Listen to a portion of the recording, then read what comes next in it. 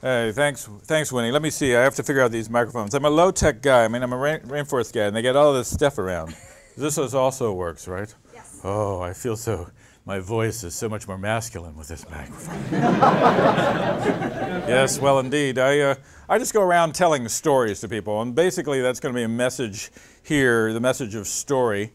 And uh, what is it? You're doing a book about ants. You know, I'm following the money trail, apparently. That's where people you know, need to read books about ants. Certainly, everyone in Google, probably an assignment for the week.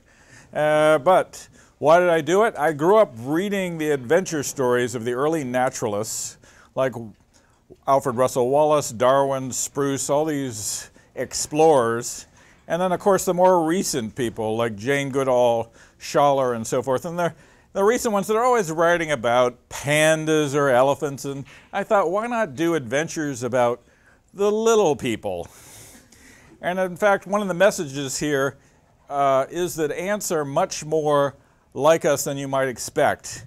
In fact, uh, ants, well, let's put it this way people, modern people, are much more like ants than they are like chimpanzees what chimpanzee society has to work about, worry about or deal with issues of traffic control, highway rules, uh, infrastructure, uh, public safety, environmental health issues. Ants expend a lot of energy in these things. Market economies, voting, ants do these things.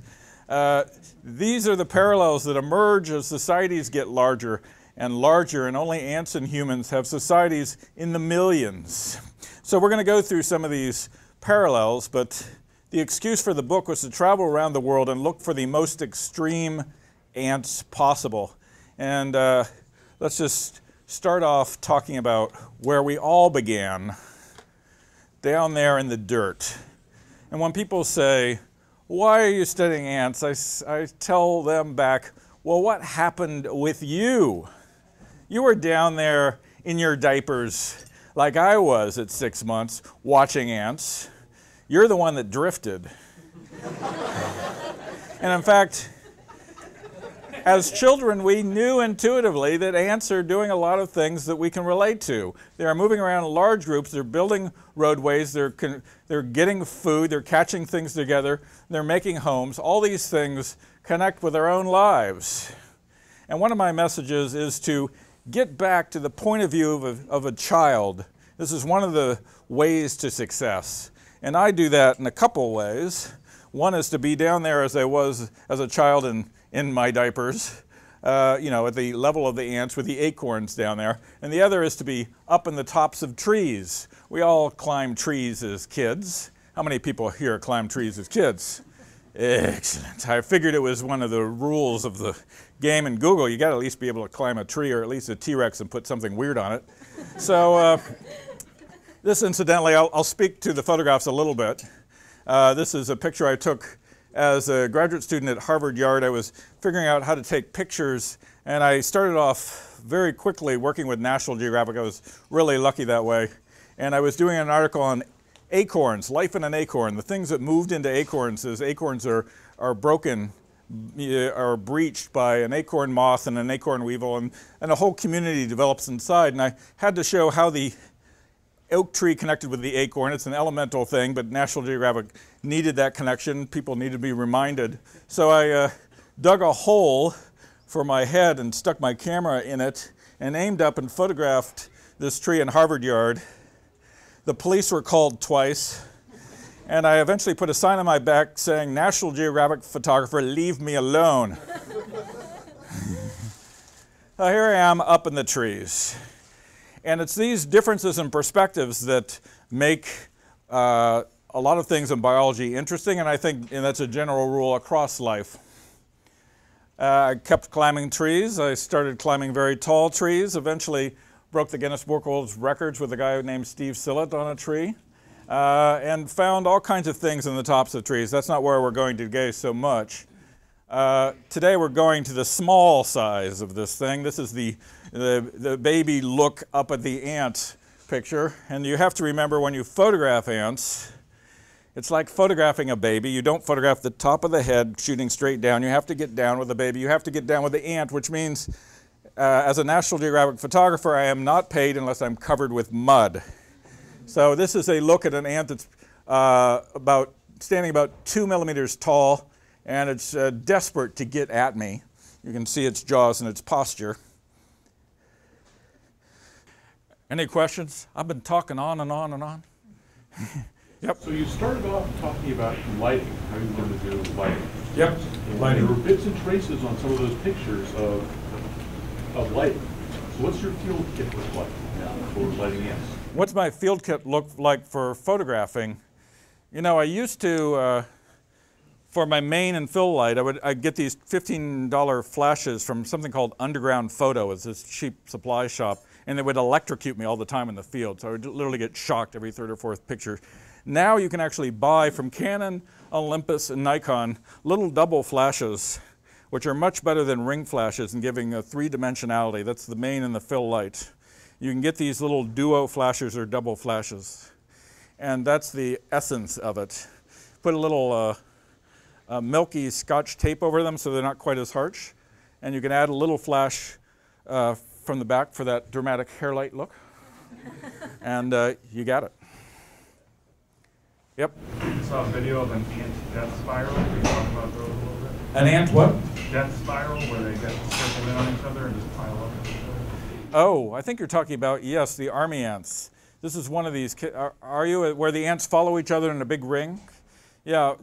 Well, I didn't go into certain things about ants, but one of them is that they have no leaders, and so they all work on everybody transferring bits of information around. And this is usually a smart way of functioning, like a human brain, but sometimes it goes wrong. And if the ants in an army ant swarm get lost from the others, they will search around, but they never can leave each other. They're not independent. They're highly dependent on each other in army ants. So they, the, the best they can do is find uh, themselves again if they've gotten completely lost, and they end up forming a ring when they find their tail end and just circling, and they simply do not know how to leave. It's like a, a brain breakdown, a psychosis or something. They cannot break out of that, and they eventually, after a week or so, they all die. Yes. Oh, um, okay.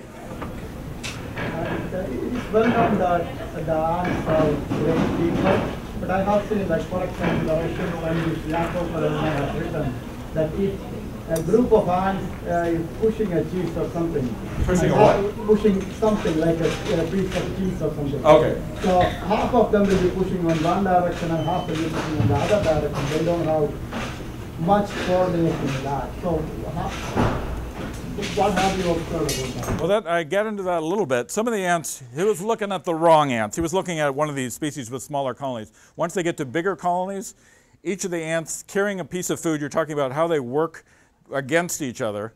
But in a large colony, they actually coordinate very well. Every ant around the perimeter carries appropriately so that an ant, a single ant can carry maybe 10 times its body weight.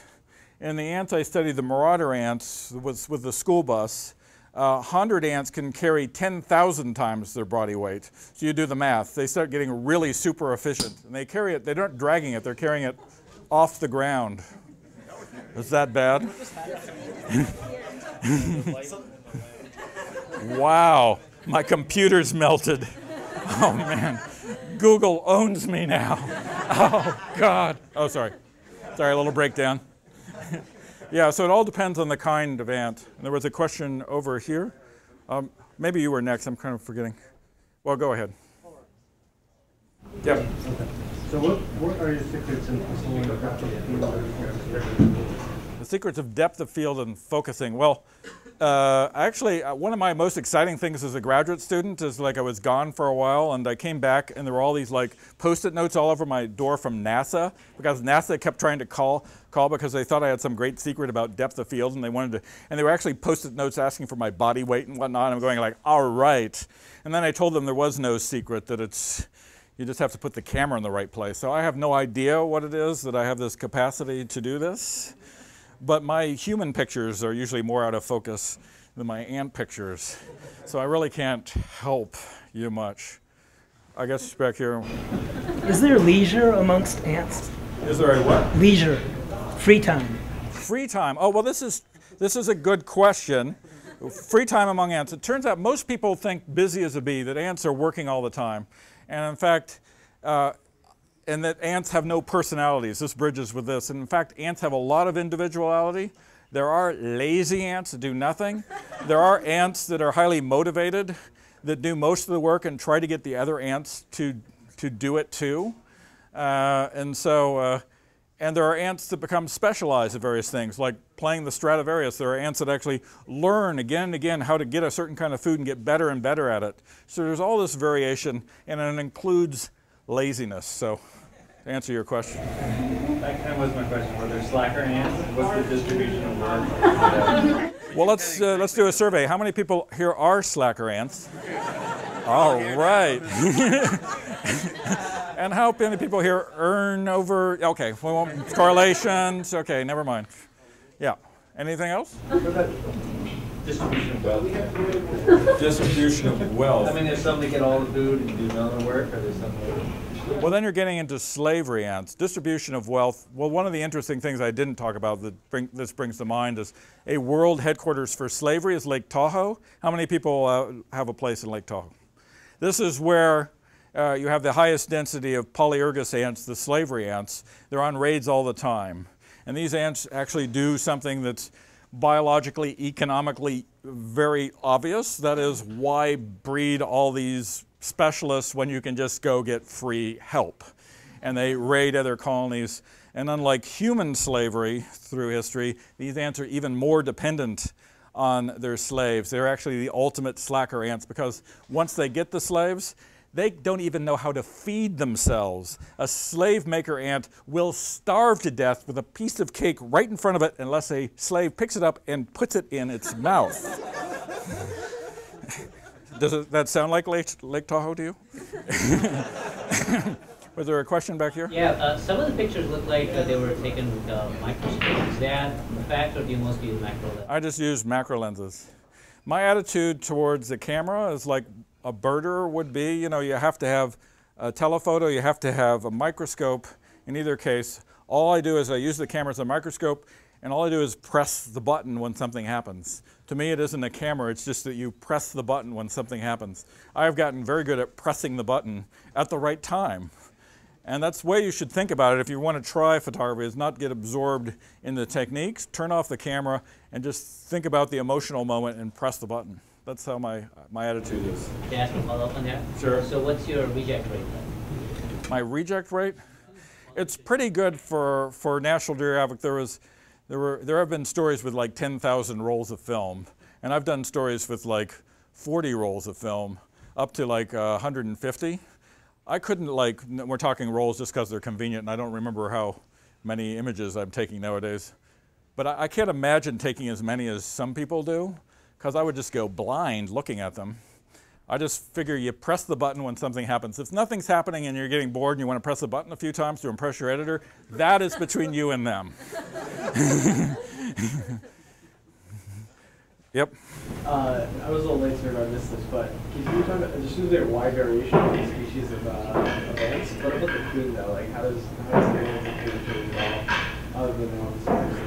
Well, I, I make a point actually in this lecture of not saying any of the things that are normally said about ants, like they have a queen, this is how they develop. I try to actually leave out everything that's obvious and go straight to the, what I think are the cool things. So we didn't actually talk about queens. I think I brought up her name twice.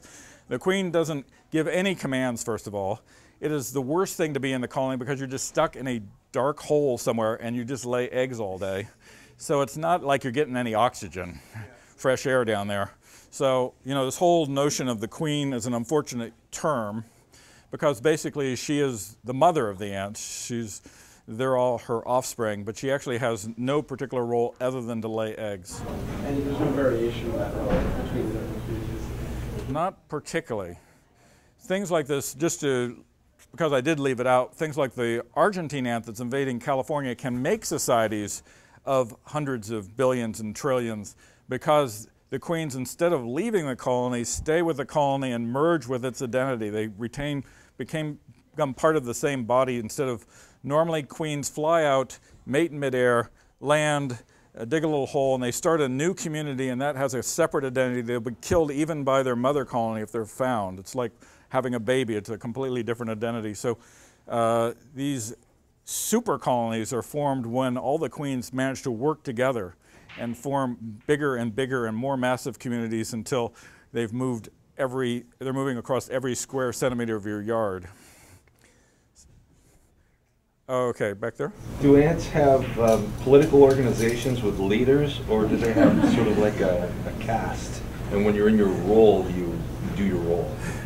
They uh, simply do what they do. They don't have leadership. There can be very temporary things. For instance, an ant that finds a particular piece of food for that moment will lead individuals to it, but it won't retain that role past the time where they've collected that food. Uh, all ants are created equal. You know, early humans had the same thing. There were, it was called a reverse caste system. There were no leaders. You could, there would be a charismatic person, but you would, uh, they would have no special powers. They could get vetoed out. Democracy has come sort of back to that a little bit, and ants have uh, really have that down to a T, and they have all this flow of information everywhere. It's much more like uh, you know texting and cell phones overturning governments. It's more like things we're having emerge now than uh, what we think of as human societies, but certainly they don't have individuals that know much more than any other individuals or have much more to, to say. We have to wrap it up now. Any more questions? Am I signing books or something? There, are books to be signed. Yoo-hoo! So, okay, there's one desperate person with a question. Very quick.